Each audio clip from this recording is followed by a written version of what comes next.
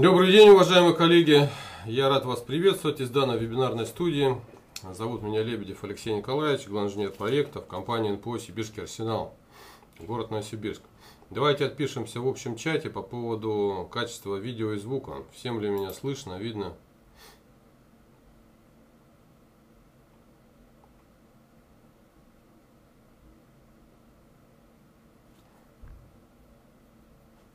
Ну, замечательно. Раз слышно, видно, значит, значит начнем. Я постараюсь сегодня много времени не занимать, как бы все, э, я понимаю, что работают, да, всем, все экономят свое собственное время и хотят как бы по-быстренькому ознакомиться. Значит, э, вы все уже в курсе, что с 1 марта у нас э, вступили в силу нормативные требования по проектированию систем противопожарной защиты а именно это SP484 и SP485, 486.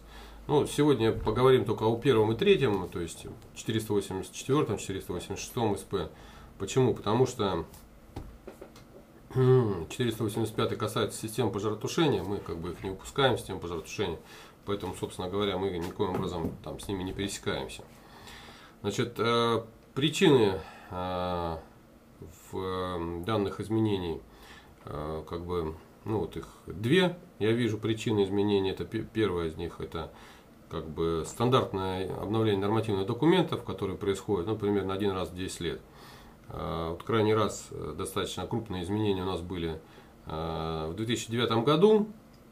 С 1 мая 2009 года начали работать по новой нормативной базе в связи с вступлением в силу федерального закона номер 123 технический регламент и требования пожарной безопасности. Вот. Ну, а сейчас, э, конечно, э, причина появления большого пакета новых нормативных документов, в том числе по проектированию э, противопожарной автоматики, это, соответственно, Евразийский экономический союз. Россия, она как бы, ну, одна из главных инициаторов образования данного экономического союза. До этого он там существовал в другой форме, в форме таможенного союза, да. Вот. Ну и как следствие, если есть э, как бы некий международный союз, необходимо привести национальные внутренние стандарты в соответствии с, с наднациональными, с международными нормами, действующими в Евразиатском экономическом союзе. Что, собственно говоря, мы сейчас с вами и видим.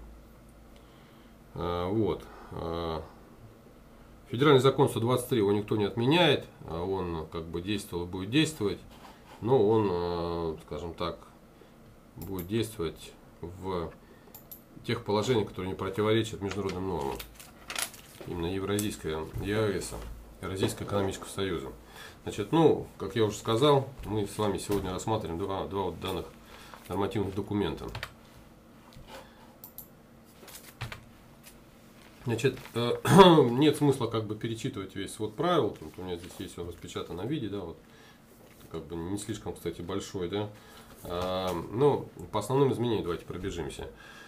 Коснулись они следующих моментов. А, введено понятие алгоритма принятия решения о пожаре А, Б и С. То есть, наконец-то будет положено, как, положен конец всем спорам, сколько датчиков ставить в помещении. 1, 2, там 3 или даже 4 раньше ставили датчики на помещение. Да?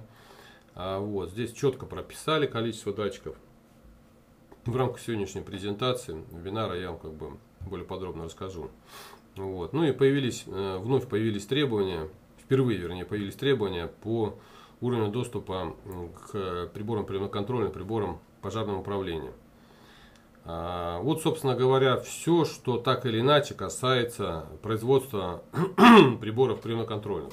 Все остальные требования, они, э, скажем так, никак не перекликаются с э, разработкой производством приборов – они только, э, скажем, э, дают требования по их применению уже. Тут как бы вот эти два момента необходимо не смешивать, потому что э, ну, такие обращения есть, видно, что люди не всегда как бы понимают, не, не совсем четко проводят границу между требованиями ГОСТа, который в данный момент действовал и действует, это ГОСТ 53-325-2012, а, называется приборы приемно-контрольные, а, общие технические требования, а, там, метода испытания, вот как-то так он называется. Собственно говоря, это вот единственный наш ГОСТ в данный момент, который устанавливает законченные требования к э, ППК, к ППУ, к извещателям, оповещателям, блокам питания, питания и так далее. Да? И согласно которого, собственно говоря, мы э, производим и сертифицируем данное изделие.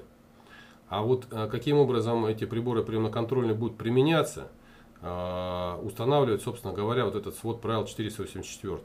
Поэтому я как бы утверждаю и продолжаю утверждать о том, что, собственно говоря, ну, практически ничто не было затронуто именно в... Да, вообще ничего не было затронуто именно как бы в самих приборах. Приборы какие были, такие и есть. Другой вопрос, что может быть сейчас не у всех производителей они будут соответствовать э, требованиям СП-484, и ну, их невозможно, скажем, будет применить да, по этим требованиям. Что касается сибирского арсенала, то здесь все, ситуация вполне стабильная, э, понятная, и приборы, как бы, они э, выполняют и алгоритмы АБЦ, и имеют, э, соответственно, возможности применять их в соответствии с требованием по уровню доступа, второй и третий. Вот. Дальше. А, третий, э, все, что касается третьего, с третьего по восьмой пункт, это уже как бы не касается производства прибора. Это касается там, э, специфических таких проектных моментов. Да. Впервые был введен э, термин ЗКПС, зона контроля пожарной сигнализации, который теперь употребляется вместо, скажем, сейчас уже устаревших терминов, таких как зона, шлейф, луч, совсем старый был термин. А, прописаны требования к системам противопожарной защиты при возникновении единичной неисправности в линии связи. А, достаточно большая часть изменений посвящена вопросам размещения пожарных извещателей в помещениях. А, появилось требование в оснащении автономными ДПИ всех жилых помещений, коридоров и прихожих вне зависимости от этажности, в том числе, получается, в частных одноквартирных домах. Приложение А это единственное приложение, которое есть в данном 484 своде правил. Запрещает применение адресных систем пожарной сигнализации на объектах, имеющих площадь более чем определена нормативом. А, вот. Все остальные приложения, которые были в SP5, они э, ну, отменены. То есть раньше было много приложений, там последнее это R было приложение, да, то есть практически все буквы русского алфавита были использованы. Сейчас только одно приложение осталось. Ну и запрещено совмещение охранных пожарных функций в одной системе. Хочу проакцентировать ваше внимание, что именно в одной системе, а не в одном приборе. То есть приборы, как они были, так и есть, выпускались, они охранно-пожарные, но сейчас, если необходимо э, для заказчика именно нужна охранно-пожарная сигнализация, то она, по сути, как бы, ну, не может быть охранно-пожарной сигнализация. Она должна быть либо охранной, либо пожарной сигнализацией. Это влечет за собой то, что придется ставить два прибора. То есть э, такие веяния они были уже несколько лет назад, я уже слышал как бы в, кулу, в кулуарах э, всяких различных конференций, да, что пора бы так сделать, скажем так. То есть за рубежом якобы так оно и есть. Ну, наверное, так оно действительно и есть, что пожарные приборы, они красного цвета, они отдельные, совершенно не имеют никакого отношения к охранным функциям. Вот. Ну, сделали, сделали, как говорится. Я давно к этому склонялся, уже, наверное, лет 15 назад к этому склонился, тому, что, собственно говоря, для э, обслуживающего персонала и для э, дежурного персонала, там, охранников, сторожей, там, для них как бы логичнее все-таки делать два разных прибора, чтобы они просто не путались. Что возникла за ситуация? То ли пожар у них в помещениях, то ли у них там а, в окошко кто-то лезет, да, и, соответственно, то ли в полицию звонить, то ли э, в пожарную часть, то ли брать ключи, идти проверять, то ли самому убегать. Ну, как-то так, да, пошутил. А, поэтому это вполне нормально все. А, появились описания новых типов извещателей, которых не было в предыдущих нормативных документах. Значит, извещатель пожарный мультикритериальный появился. Это автоматический извещатель пожарный, контролирующий два или более физических параметров окружающей среды, изменяющихся при пожаре, обеспечивающий самостоятельно, либо с, во взаимодействии с приемно-контрольным прибором формирование сигнала о пожаре на основании результатов обработки контролируемых данных по заданному алгоритму. То есть э, до этого у нас с вами был э, комбинированный пожарный извещатель, ну, в частности, из наиболее распространенных это были комбинированные дымовые плюс тепловые. Я, конечно, ничего не особо встречал, чтобы их люди э, применяли, ставили где-то, да. Но они, по крайней мере, выпускались. И в прайсах они были. Соответственно, чем отличается комбинированный от мультикритериального? Комбинированный датчик это по сути два разных датчика, э, сделанных э, в одном корпусе. Вот, они физически могли иметь даже разные там э, выходные контакты реле, ну, в частности, в охранной сигнализации часто встречались там акусти акустический плюс оптический, оптикоэлектронный э, охранный извещатель. Они имели разные, соответственно, выходы реле, там могли были быть включены в разные шлейфы, да, там, вот. Эм, то есть, соответственно, э, комбинированно это два датчика, но как бы два в одном получается. Ну а мультикритериальный это уже тоже два в одном, но два датчика слившихся воедино, э, синтезированных, скажем так, исходящих один из другого. То есть, соответственно, вопрос только как бы в алгоритме обработки этих исходных сигналов. Вот. Э, подробно как бы ну, не буду э, здесь останавливаться, потому что я сам этот вопрос глубоко не изучал. Вот. Ну, то есть поняли, что мультикритериальный это такой более э, близко слившийся комбинированный датчик. Э, сателлитный пожарный извещатель это автоматический пожарный извещатель, оснащен устройством управления спринклерным оросителем с принудительным пуском. Вот. Ну, по сути, э, были такие уже датчики до этого, а, там типа ОСП они назывались, делали иногда э, систему порошкового пожаротушения без централизованного управления, а с таким с распределенным управлением на отдельных датчиках. Такое было уже. Извещатель пожарный с видеоканалом обнаружения – это автоматический пожарный извещатель, выполняющий функцию обнаружения возгорания посредством анализа видеоизображения в контролируемом поле зрения. Ну, по сути, наверное, будут видеокамеры, которые имеют некий там интеллектуальный алгоритм обработки видеосигнала, позволяющий э, идентифицировать э, ситуацию на картинке как пожар и выдать э, сработку в виде там замыкания контактов реле в прибор прием контроля. Как-то так. Ну вот я смотрел около двух недель назад, по крайней мере по крупным дилерам, я не видел еще э, в прайсах таких датчиков.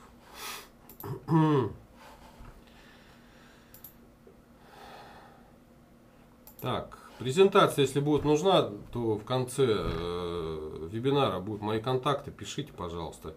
Я с другого компьютера сейчас выступаю, не со своего личного, поэтому нет смысла писать мне сейчас вот там электронную почту или еще что-то. Э, контакты мои будут, перепишите. Вы же со своих рабочих компьютеров. Напишите просто просьбу, скиньте презентацию, я вам отвечу сегодня же брошу. Постараюсь сегодня ответить.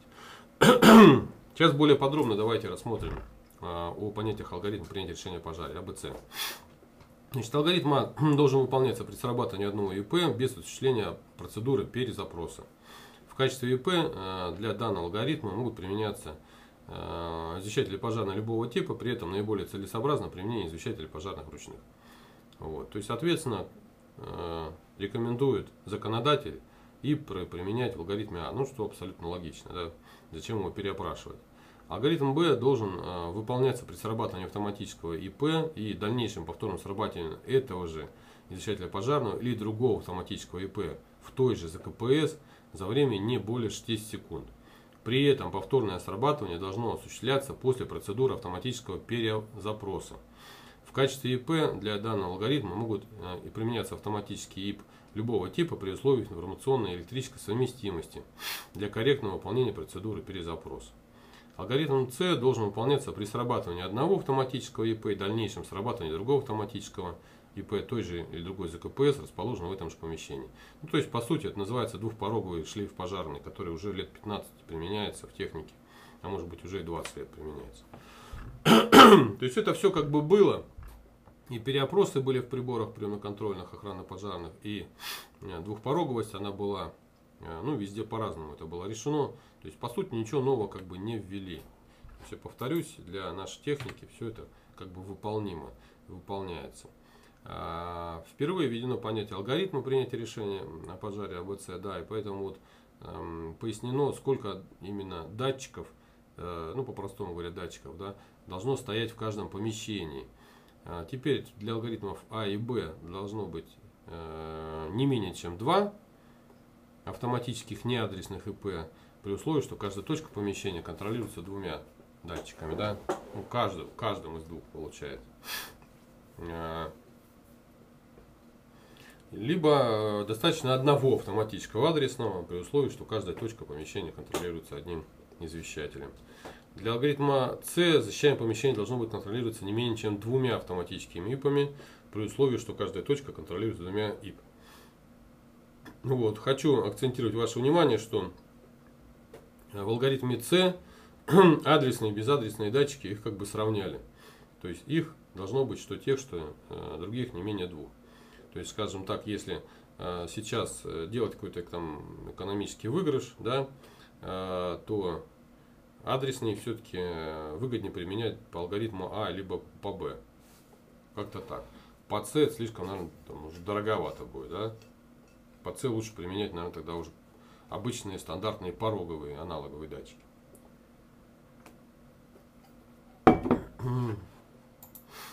Вот. Ну, здесь вот э, чужие чертежи, э, немножко определенно, ну, немножко чтобы понять.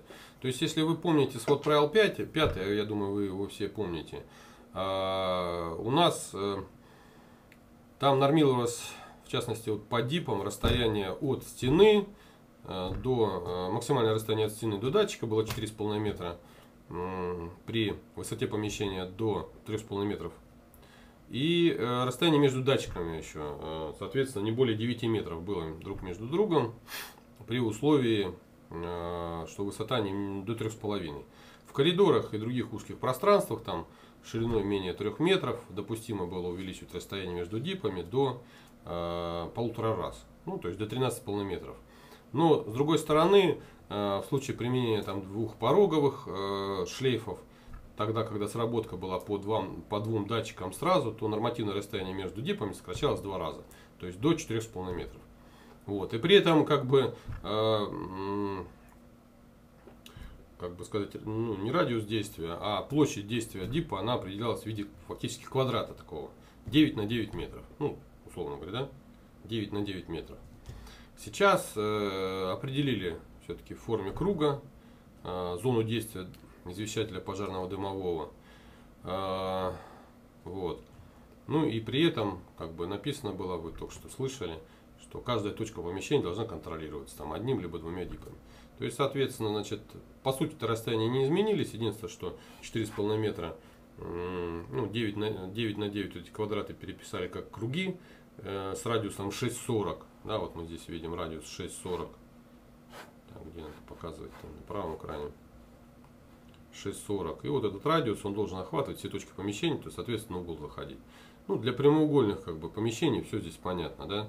То есть, размещаем такие кружки, в центр ставим дипы, соединяем их между собой э, там, шлейфом, либо кольцевой линией э, связи адресной. И все как бы понятно становится. Для более сложных помещений, конечно, тут, наверное, придется покреативить, да, как их там распихать. А когда их по два Э, в каждой зоне. Ну, это получится фактически такие гирлянды из э, двух э, датчиков с удалением друг от друга.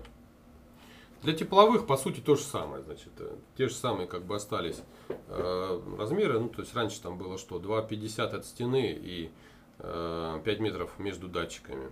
Ну, вот сейчас там 2,51 от стены, 5,02 между датчиками. То есть по сути, разработчики данного ОСП, они максимально как бы э, ну, приблизились к тем цифрам, которые были когда-то. Ну.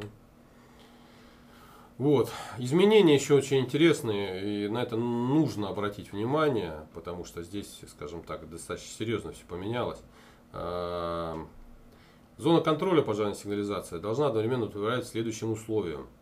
Смотрите, все условия должны как бы э, выполняться что площадь не должна быть более 2000 квадратных метров. Одна ЗКПС должна контролироваться не более чем 32 ИПами.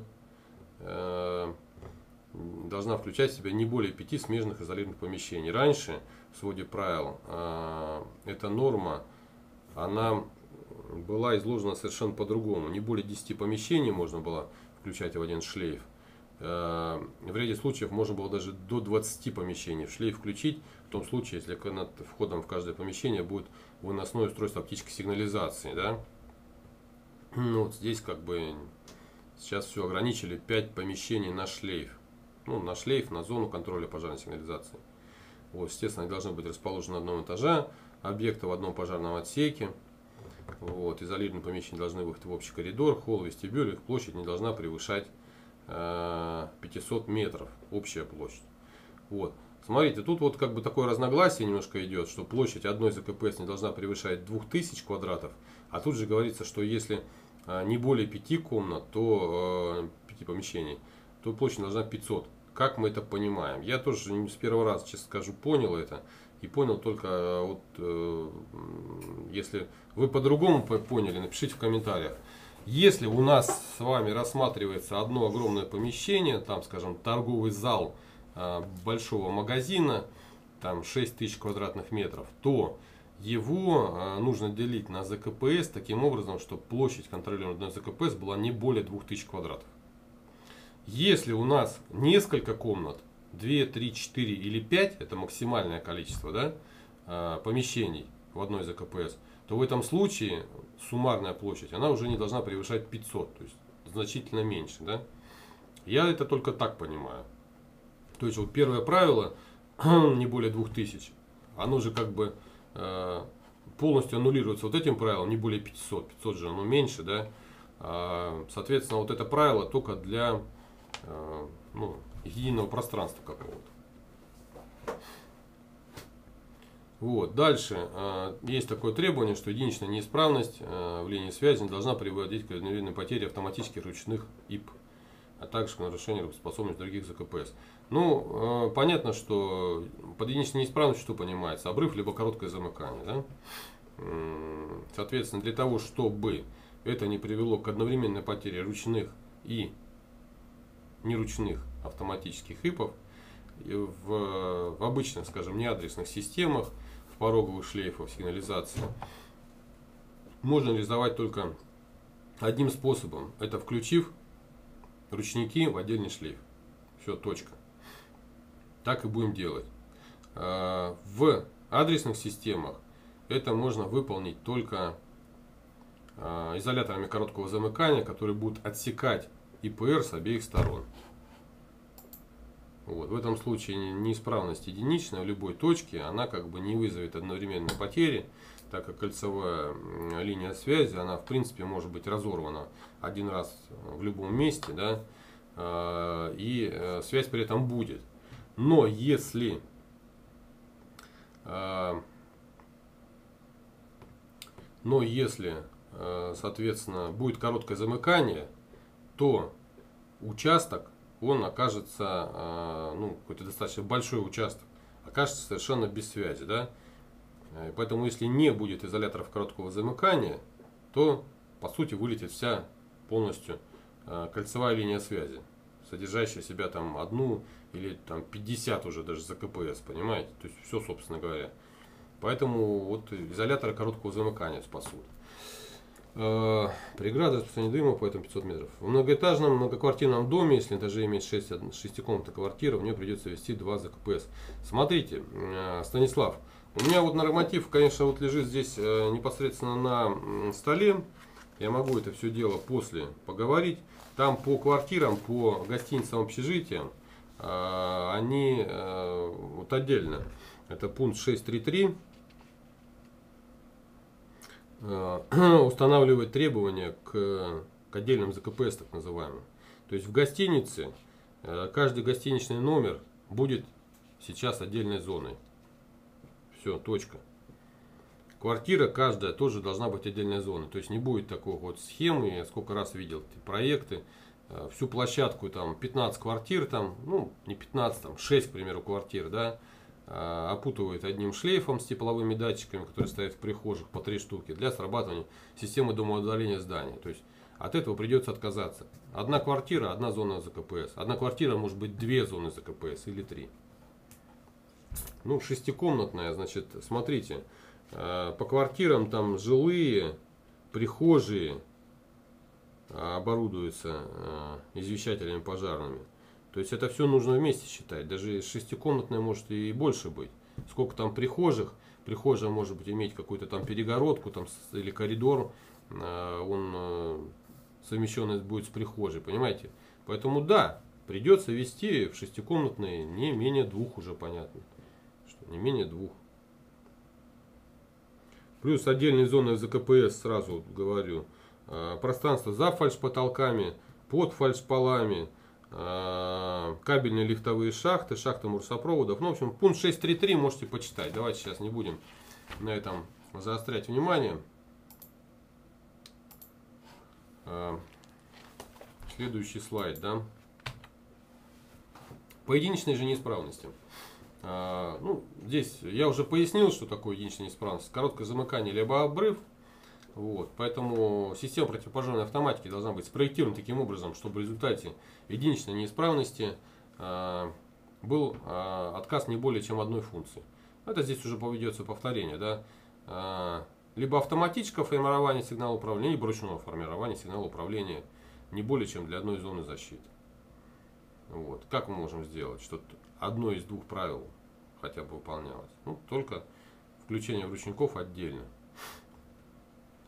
Но при этом как бы требование не распространяется на линии связи с исполнительными устройствами. И в терминологии в начале СП пояснено, что исполнительные устройства это в том числе и оповещатели. Да? Оповещатели являются исполнительными устройствами. Вот. То есть если короткая на линии там сирены не нарушит а, работоспособность э, линии связи с табло выход, то как бы ничего страшного, да, получается. Пусть сирены не, не будут работать. Лишь бы там сам прибор не выгорел и табло выход при этом мигать начали. Как, как-то так, да, это вот формулируется. Поэтому никто не э, требует э, дублировать линии связи с оповещателями. Ну, 6.3.4, он тоже пункт, как бы, вот, понимаете, тут в нескольких местах сказано об одном и том же. Поэтому мои выводы прочитаем курсивом внизу. А, я уже об этих выводах сказал в предыдущем слайде. Да? Вот здесь, э, скажем, картинка такая, э, скачал на просторах сети. А, схемка неправильная, сразу говорю, не нужно ее запоминать. А, почему неправильно? Потому что нужно сделать выводы из неправильной. Здесь вот кто-то даже уже пытался говорить о том, что в случае применения там вот такой схемы, когда есть один центральный ПКП, контролирующий э, через 485 интерфейс э, автоматические и неавтоматические ИПы в разных зданиях, как вы видите, несколько зданий, то обрыв в любой точке, там хоть питание, хоть э, адресные линии связи 485 интерфейса приводит к тому, что там отвалится огромное количество зон там зданий, там, ну, может быть, даже два или три отвалится, да, не будет связи. Поэтому эта схема неправильная. Вот, чтобы выполнить по современному нормативу, а такие схемы, они имели место, как выяснилось, там, а, ну, судя, по крайней мере, по семинарам других людей, которые я уже успел послушать, э, целые микрорайоны делали на одной вот этой вот адресной линии, там десятки тысяч датчиков они включали, и поэтому э, обрыв где-нибудь там на чердаке какого-нибудь 15 дома вызывал отключение там 20 там многоэтажных жилых домов от э, пожарной сигнализации на пульте этого все не контролировалось. вот, поэтому, чтобы такого не было, по нынешнему нормативу надо делать либо два 485 интерфейса, тогда в этом случае единичная неисправность она как бы не приведет да, к тому, что все отвалится, там, резервный будет. Ну, либо кольцевать 485 интерфейс, такие технологии тоже есть. То есть топология кольцо это по сути два 485 интерфейса, которые между собой где-то там в конце ну, замкнуты. Да? Вот. А, также продублировать линии, линии питания 12 вольт, ну либо разместить блоки питания, а, резервные источники питания в каждом из этих зданий. Да? Вот. Либо второй вариант, перенести уже в каждое здание э, источники питания, приборы приемно-контрольные, приборы управления. Таким образом, чтобы вот обрыв вот этого интерфейса, он э, только не дал возможности э, передать информацию на пульт, но при этом внутри здания все бы оставалось работоспособным. Ну, то есть, если ППК находится в здании номер один, в здании номер два и так далее, в каждом здании находится, ППК внутри себя он сработает, да, и выдаст там сигнал пожар, запустит систему оповещения, табло выход, все остальное исполнительное устройство запустит, вентиляцию отключит, вот, как-то так. Поэтому эта схема неправильная. Как правильно сделать, вот внизу слайда подписано. А, вот. Также, как бы вот сказано в нормативе, что ППК, ППУ необходимо устанавливать э, источник бесперебойного электропитания, необходимо устанавливать в помещении пожарного поста. Ну, также допускается, конечно, установка указанных устройств в других помещениях э, при одновременном выполнении условий э, обеспечения указанными устройствами уровня доступа 2 и уровня доступа 3.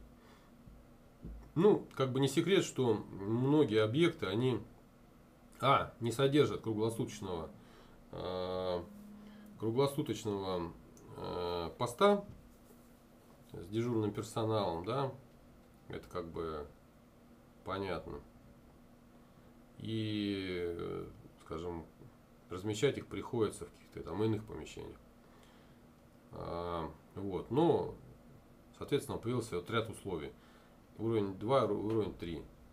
Скажем, э, я сам лично написал письмо в НИИ по МЧС 19 февраля я туда отправил его, пока ответа не было, по разъяснению данного пункта правил. Дело в том, что э, требования есть, но нет нигде э, ни ссылки на какой-то нормативный документ, ни э, разъяснения там в начале вот, там, в глоссарии или в терминах определениях, что такое уровень доступа вообще. А, как бы, э, ну, я как бы знал, да, еще в 2018 году э, читал э, проект нового ГОСТа по приборам контролем, который так и не приняли, которые собирались принимать раньше, чем свод правил 484, но там карты поменялись, собственно говоря, и что-то по-другому все пошло, да, не так, как предполагалось. Поэтому я написал письмо, я еще позвонил в НИПО, э, чудом как бы попал на Ивана Рыбакова, Э, Рыбаков Иван Владимирович, это один из разработчиков СП-484, скажем так. С ним переговорил, он мне устно подтвердил о том, что да, действительно в данных э, требованиях по размещению ППК по уровню доступа 2 и 3 э, идет отсылка к непринятой редакции ГОСТа, которая пока затормозилась и которую, э, ну, с его слов, э, предполагают принять в этом году. Вот месяц, конечно, до конца не определен, там, там июнь, июль, там пока вот как бы фигурируют такие, как бы это. Но я прекрасно понимаю, будучи реалистом, прекрасно понимаю, что это только ближе к концу года, скажем, его, скорее всего, примут, потому что там э, достаточно непростой процесс. Э, там Росстандарт делает еще техническую вычетку текста и так называемая окончательная редакция этого проекта ГОСТа, она может еще немножко быть отредактирована. Вот. Поэтому пока живем с ГОСТом 53325 2012, э, техника пожарная, по нему сертифицируем приборы. Вот. Так вот, что такое уровень доступа? Э, второй уровень доступа это для тех, кто имеет право смотреть на прибор вот, и э, нажать на кнопку, чтобы снять, поставить шлейф. Да? Э, ну, зону контроля пожарной сигнализации на охрану. А третий уровень доступа это технари, которые имеют право осуществлять техобслуживание, наладку и, соответственно, менять э, алгоритм работы системы. Вот. Э, по-простому, значит, второй третий уровень доступа, он обеспечивается также у нас у всех приборов, которые мы выпускаем, чем? А, тем, что э, ко второму уровню доступ э, должен осуществляться посредством либо там ввода кода, пароля, да, с блокировкой клавиатуры, либо с использованием контактных бесконтактных считывателей, либо с использованием механических ключей. Ну, были такие когда-то механические ключи на приборах, помню до сих пор, да. А, а третий уровень доступа должен осуществляться посредством одного или нескольких вариантов. Ну, достаточно, вот скажем, применение ключа либо инструмента позволяет осуществить доступ внутрь корпуса прибора. То есть любой саморез, э, который откручивается отверткой, который не дает доступа там, к, к тому, чтобы переконфигурировать прибор, там, либо что-то с ним сделать плохое, это уже как бы третий уровень доступа. Вот э, письмо как будет от, э, от НИПО получено, мы его выложим на сайт. Собственно говоря, сможете тогда скачать и где-то использовать, может быть, в своей деятельности. Вот. А, приложение А, я уже сказал, это единственное приложение в 484 СП. А, оно содержит перечень самых различных там зданий, сооружений, помещений, которые сгруппированы, это вот как бы новшество такое свода правил, сгруппировано по э, классу здания по функциональной пожарной опасности, которая определяется в соответствии с 32 статьей 123 федерального закона, тех регламент трения пожарной безопасности. То есть таким образом они сконфигурировали это все дело, и я думаю, что правильно, потому что, ну, э, должны быть какие-то системные научные издания, да, то есть не так, чтобы в одном нормативе так, а в ФЗ немножко по-другому, да. Ну, ФЗ же является все-таки у нас как бы первоисходным документом. Вот, поэтому здесь вот сконфигурировано все по, сгруппировано, извиняюсь, по э, классу здания, э, по функциональной опасности и, соответственно, содержатся критерии, при которых э, систему можно делать безадресной. Вот. Адресное ее можно делать в любом случае, а безадресное только в том случае, если там площадь менее э, определенного количества квадратных метров, либо высота здания менее. То есть сейчас получается вот э, по э, многоквартирным жилым домам, в которых проживает так или иначе процентов 80 населения у нас, да, 10 этажей и меньше, это может быть любая сигнализация, э, хоть адресная, хоть безадресная, а 11 этажей и выше – это только адресная пожарная сигнализация. Вот. Ну, теперь 484-му, здесь 486-му, извиняюсь, своду правил. Э, по нему совсем тут мало слайдов. Почему? Потому что, по сути, он ну, не содержит каких-то каких-либо требований, он только содержит там табличные формы. Собственно говоря, и называется так перечень зданий, сооружений, помещений и оборудования, подлежащих защите автоматическими установками пожаротушения и системы пожарной сигнализации, требования пожарной безопасности. По сути, 486 э, СП, э, он э, родился ну, из э, первого приложения, или приложение А называлось, к своду правил пятым. Вот, а сейчас это приложение это А, оно стало отдельным сводом правил.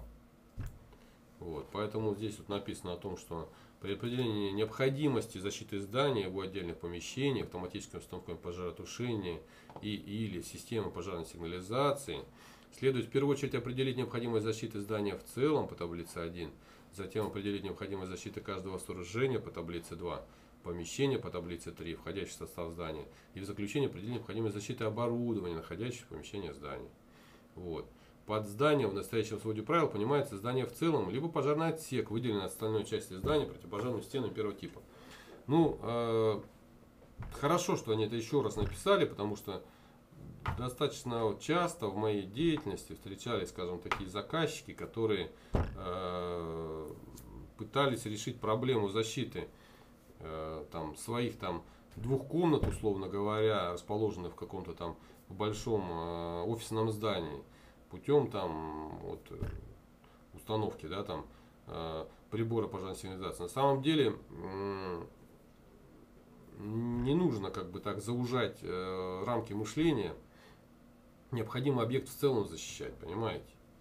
Были даже вот у меня случаи, когда э, ну, большой цех там распродали несколько собственников, и там один из собственников отделился от остальных стенкой, выполненной Э, сотовым поликарбонатом, ну, тепличным таким, да, и пытался делать э, сигнализацию там у себя на 200 квадратных метрах, потому что цех там был больше тысячи квадратов, да, э, и, соответственно, э, вообще подлежал защите автоматической установка пожаротушения, вот.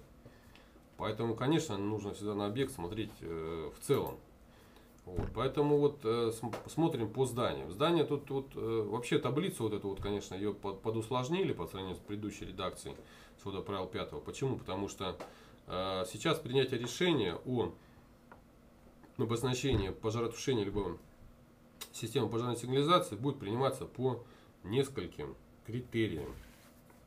Вот. А, вот как вы видите. От этажности здания это идет. А, вот здесь, по крайней мере, прописано. Да, вот, ну, на примере, допустим, автостанок закрытого типа. В зависимости от этажности, надземности, там, либо подземности, да, а, степени огнестойкости и класса конструктивной пожарной опасности, а также при площади, от площади пожарного отсека. То есть, э, скажем, теперь, чтобы дать ответ, что нам нужно там делать, необходимо знать все вот эти вот как бы характеристики защищаемого здания. Фрагмент таблицы 3. Помещение складского назначения. Фрагмент. А, в складских производствах, как вы понимаете, еще вступает в силу понятие категории помещения по пожарной и взрывопожарной опасности. Вот. И здания в целом в том числе. Поэтому, кроме там этажности, площади, еще и категорию нужно знать. Поэтому тоже прошу обратить внимание на вот это все. Вот, ну и, соответственно, э, последний слайд уже, э, предпоследний, да. Для оборудования производства НПО «Сибирский арсенал» вступлением норм э, ничего не изменилось, так как оно уже соответствовало вот этим всем критериям SP484, SP486. Вот. Но, тем не менее, для удобства пользователя мы выпустили несколько методичек, где коротко пояснены принципы подключения извещателей пожарных в шлейф сигнализации и правила конфигурирования приборов, чтобы клиент, как говорится, не сломали голову. Вообще, при внимательном прочтении руководства по эксплуатации, в этом можно было разобраться и самому. Но так как мы клиентоориентированная компания, то нам несложно помочь в этом вопросе. Тем более, что это снизит э, нагрузку на нашу техническую поддержку. Поэтому прошу пользоваться данными методическими указаниями. Вот они были размещены 1 марта. А, сейчас в данный момент уже вот 5 методичек здесь выложено, в зависимости от там, э, требуем вам прибора. Заходите, ну, понятно, что сайт arsenal-sip.ru, э, заходите, нажимаете кнопку проектировщиком вот здесь вот, потом методические материалы и открываются вот различные методические материалы. Открываем, кликаем, скачиваем файл себе на компьютер, это PDF-ник, там один, два, ну, две страницы в основном, они все двухстраничные. И э, все, и пользуемся. Там все по-простому. Потому что, ну, смотрите, руководство по эксплуатации мы менять не имеем права, так как э, приборы, они э, сертифицируются совместно с руководством по эксплуатации, совместно даже там э, с техническими условиями, да, на выпуск данного прибора. Вообще превосходный документ, конечно, тех условия. Поэтому как бы вписывать какие-то дополнительные там пункты, а вот для алгоритма B, для алгоритма C вы должны сделать то-то, то-то. В руководстве по эксплуатации это ну, совершенно неверно, это некорректно, как бы, да. Поэтому просто есть методичка. Она простая, я ее сам писал. Вот. Поэтому прошу переписывать мои контактные данные, э, электронная почта, э, скайп. Кому нужна презентация, пишите.